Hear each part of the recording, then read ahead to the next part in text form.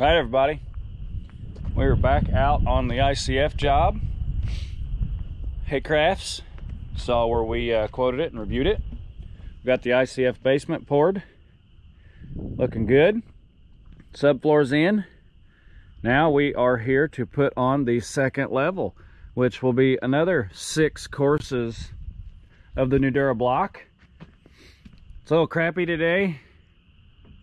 Weather, I don't know if it's gonna hold out. I don't know if it's gonna rain us out. But you can see, got trusses here. We gotta get this stacked out and get the pour completed so that the customer can put those trusses on that house. Let's get started for the day.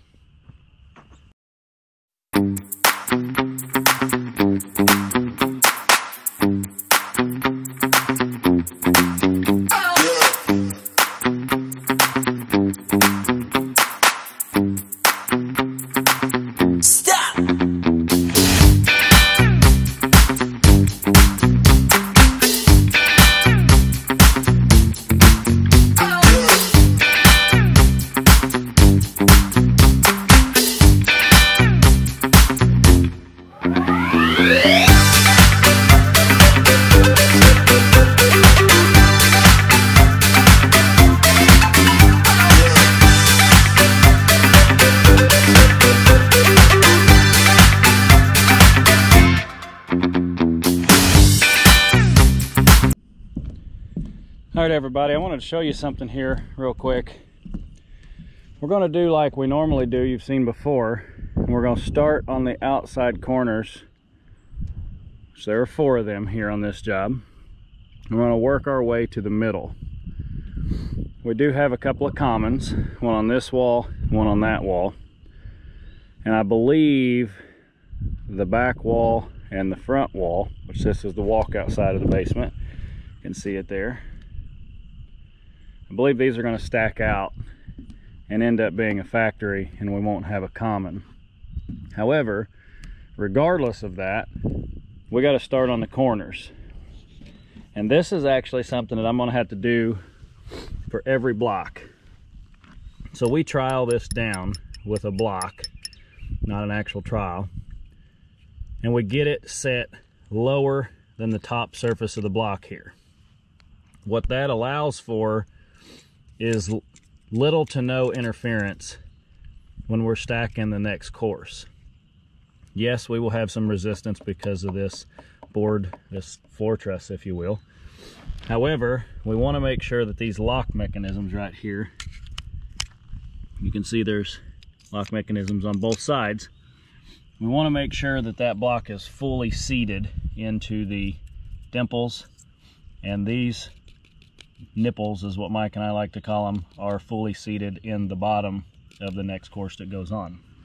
Well, right here, you can see we've got some concrete in here. So I've got to make sure that all of this is out. It's okay if we chunk the foam out a little bit, but you see how that came out of there? That would have kept our block raised up and it wouldn't allowed this lock mechanism to lock properly. So we got to dig all this out and there isn't a lot. There's a few spots where the uh, concrete pump truck got a little crazy.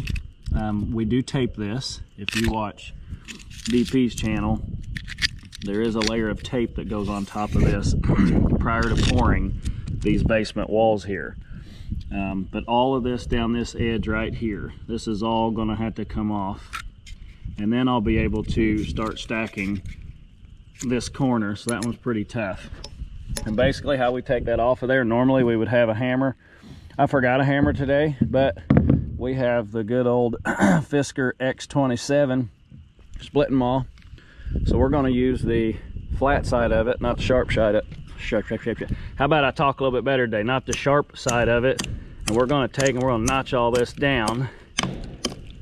You can see it doesn't take much because it's a thin layer of concrete that's there. You see how I kind of knocked a little bit of the block off? That's okay, it's not a problem. That lock mechanism is key. So where I get next to this lock mechanism here, if you look at this lock mechanism, you can see how deep that second lock is. It's pretty good ways down in there. The concrete is up to it here, so I wanna hit styrofoam right next to it, bust that concrete up a little bit. You see how it fell out of there? Now the lock mechanism is gonna work properly. All right, we're gonna go down through here. We're gonna clean all that up, just a few spots. We've got one bad spot right down there. You can kind of see it over the foam. That one will take us a little while. But the rest of this here shouldn't take that long. We're gonna stack it out.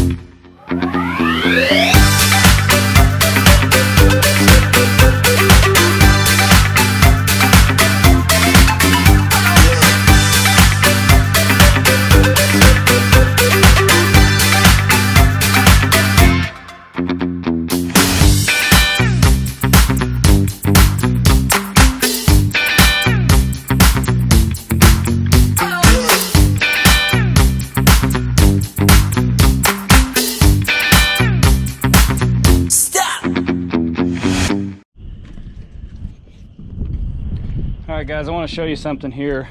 Um, that back wall as you saw in the time lapse stacked out with full eight footers on this front wall you can see them outside corners long short. Over here it's also long. See the longs going down that way? The longs coming down this way. So typically these are alternated due to the step footer at the bottom frostproof footer.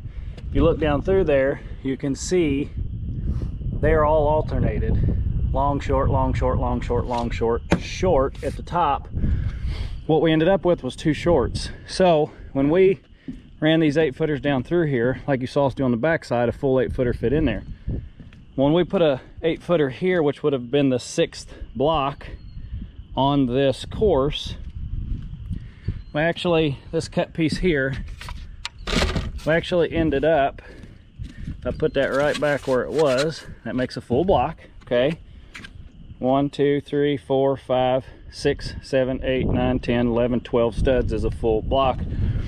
Well if you look there it ended up right on a seam splice seam not really a splice it's a seam. Well i don't want two seams on top of each other because it could create a weak spot in the wall. So i cut two studs two studs off and i made sure this is a factory edge i made sure that we had two studs on the original block that has concrete in it. So what we're going to do is we're going to span that seam with a four stud uh, block, it's still a factory and a factory.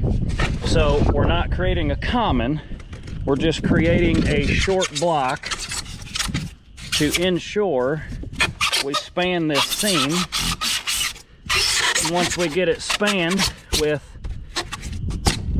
this block here, okay, now, I don't have it in there all the way yet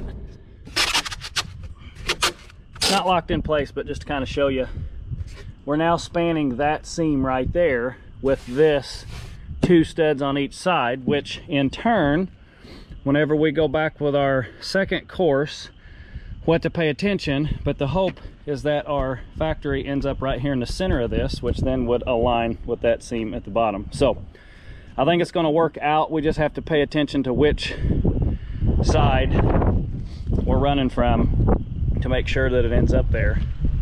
Just wanted to point that out, make sure that uh, every under, everybody understood why I made that change. Let's do some more stacking.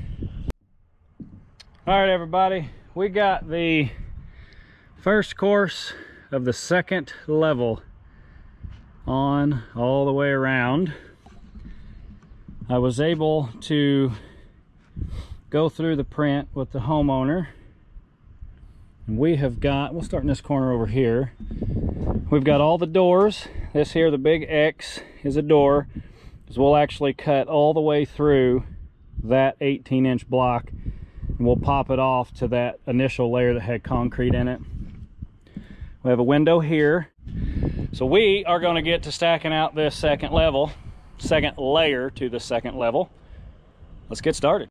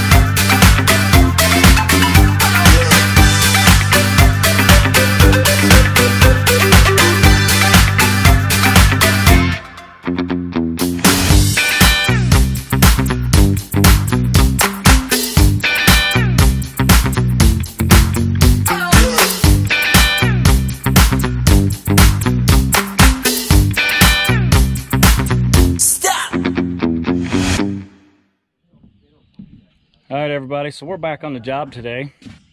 Uh, you saw earlier that I was marking out the windows. Got a few of the window notches cut out. You can see there we've got a third layer of block going up. We've got some more windows and doors notched out.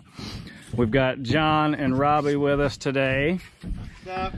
We've what what what I did today. I'm with just about every what I did was uh, I came in and I marked out each of the windows inside and outside so that when we got here today we could I could run ahead of them on that third course. I could run ahead of them and get all the cutouts in. You can see up there on the walk outside of the house there's several notches. Um, but what we're trying to do today is get all the layers as high as we can get. what's going to end up being, I believe, is uh, two more layers. So that would be one, and then there'll be another one on top of that.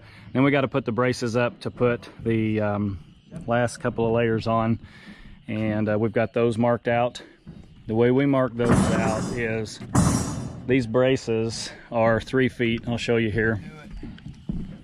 From here to here is three feet and that's the part that hinges out for the actual walkboard so we start in a corner we measure out three feet and we put an X. And then after that X we go every ninth stud one two three four five six seven eight nine. Put another X and that marks where that brace is going to go. But one thing that I want to point out to you guys this is a door. The door always sets the height of what your windows are going to be. You don't want your window shorter than your door, then it looks funny. So right here was 84 inches to the top of the door. It's an 82 and a half inch RO. And then we have our window bucks over there. You can see that two by 12 on this side. That's on top of the sideboards. so you got an inch and a half to that. So that gets us to 84 inches. Our window bucks are 63 inches tall. So 84 minus 63, that's 21 inches. So from the floor to the bottom of the window is 21 inches. And what that allows, we'll take that window buck, we'll set it in that hole. That's a six footer, that's a six footer. When we set that in that hole and we make our door buck, which will go in here, that top of that door buck will match this window, that window, that window, that window, that window, that door, that window, that one, so on, so on, so on, all around the house. So we're gonna get to notching the rest of these windows out and doors. We've got one more door to notch out. Uh, but you'll be able to see this process as to how we notch these out. I'll give you a quick explanation. That bottom course already has rebar in it. So when I come in here and I cut a door, I've got to cut that rebar out. This is our vertical pin, the tire two walls together. That ended up in the threshold of the door, so we'll cut that off. Where we cut a window and we are 21 inches up off the floor, you can see that rebar stays in there and runs all the way through. We don't have to notch it out there. But the basics of this is you want to try, yes, that's not a very good cut. You want to try to cut as straight as you can. Obviously, it doesn't have to be perfect. This is a rough opening.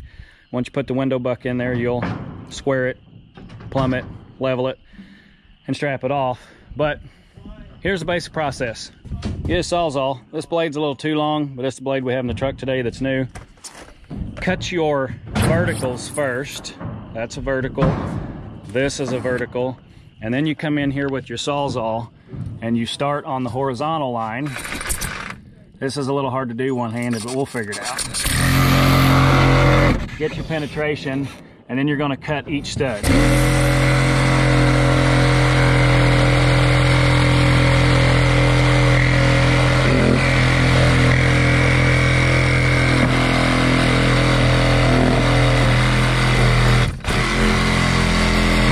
So yeah, I got off the line there a little bit. And you'll notice that I made it part of the way through that stud and then it got difficult. The reason for that is, I'll show you over here. You can see the blocks ship flat. When we stack them on the wall, they're expanded, right? Well, what allows that, you can see that little metal pin right there.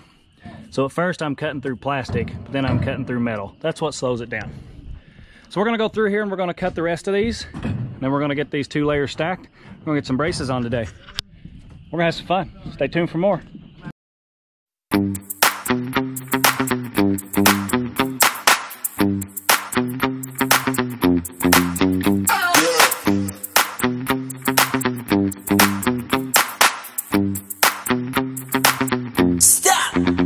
Right, I wanted to show you guys here. I explained the uh, door cutout up there versus a window.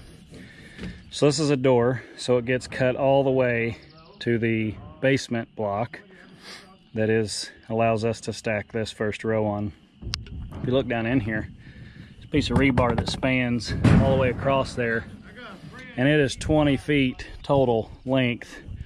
So what we do is normally we already have the grinder staged next to us, but I forgot it. I left it over here. I'm starting to act like Mike. So, you know, acting like Mike.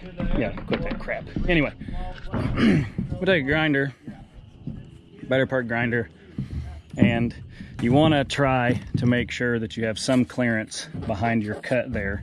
You can see the cut and you can kind of see how that aligns with the rebar there.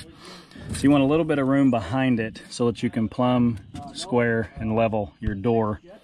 So we'll take the grinder and we'll cut it about right there. And then we'll make a second cut over here.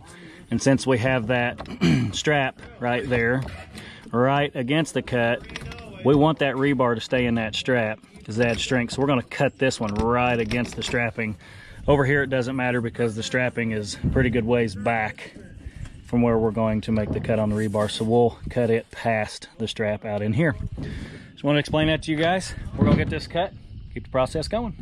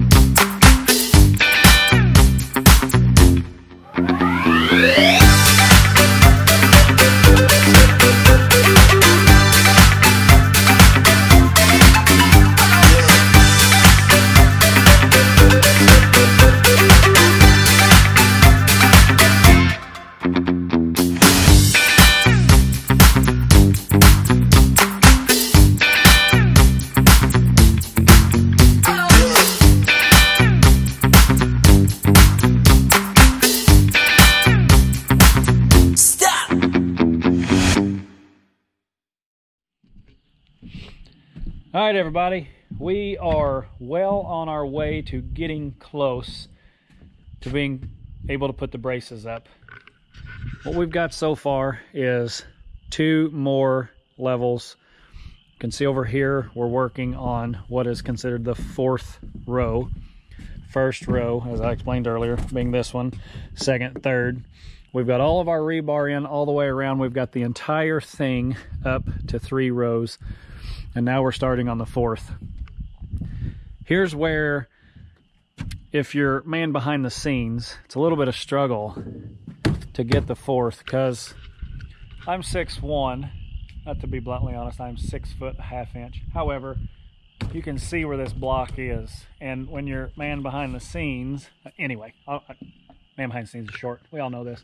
It's a little bit harder to reach this outside where there isn't a window cut out because you're here and you're happening to hit that block and you can see my elbow is right on top of the wall. So we're gonna try to get this fourth course on without braces and without ladders. After we get that fourth course on, we have two more courses to go.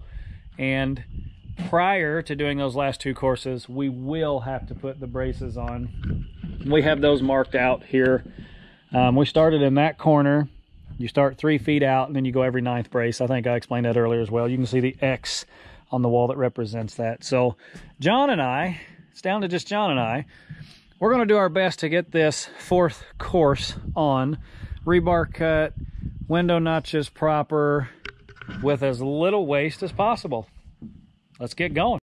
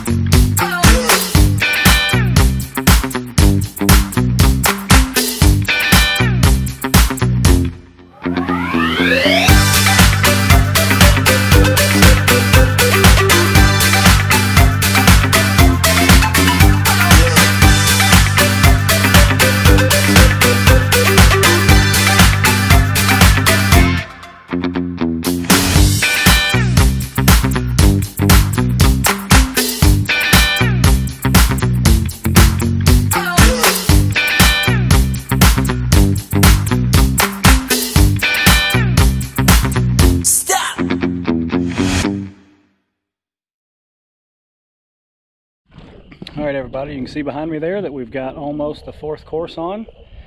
The remaining of this job will most likely be on Dirt Perfect's channel. So, as always, like, comment, subscribe.